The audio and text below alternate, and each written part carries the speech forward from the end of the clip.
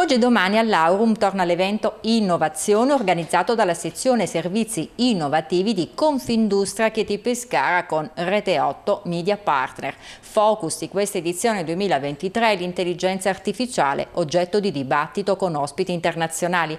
Torna anche la gara di idee tra studenti universitari, sono 24 i finalisti di quest'anno.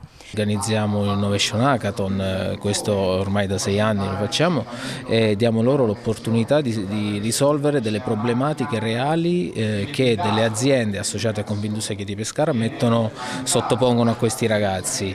Inevitabile sollevare anche la questione etica e gli eventuali cambiamenti legati all'introduzione dell'intelligenza artificiale che non è appannaggio delle grandi multinazionali ma che ben utilizzata con risultati sorprendenti anche nelle aziende piccole, come rimarca Giuseppe Biffi, la figura di riferimento dei sistemi digitali di Siemens. La storia ci dimostra che è più una trasformazione, un'evoluzione di quello che è il ruolo dell'umano, dell'uomo all'interno dell'industria.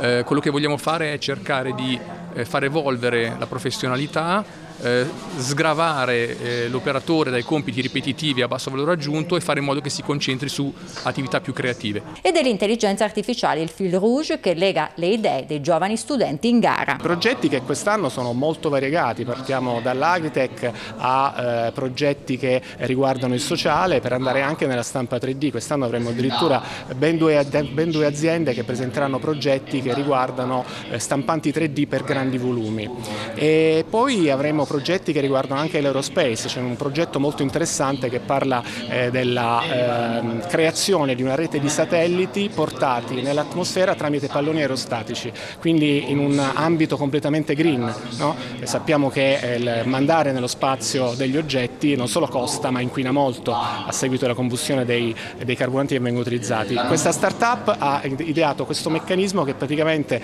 non solo permette di risparmiare sull'uso dei carburanti ma addirittura non inquina, quindi insomma è una cosa veramente molto, molto interessante.